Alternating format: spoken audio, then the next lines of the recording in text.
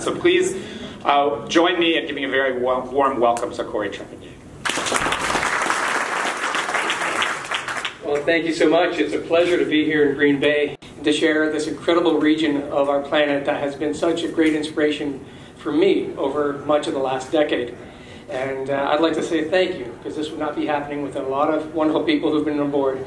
Uh, for Beth and Kevin over there in the, in the shadows, for your warm welcome and your decision to bring the Canadian Arctic to Green Bay.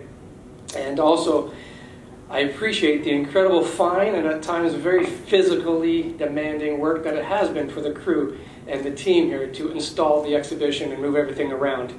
And I hope everybody has recovered.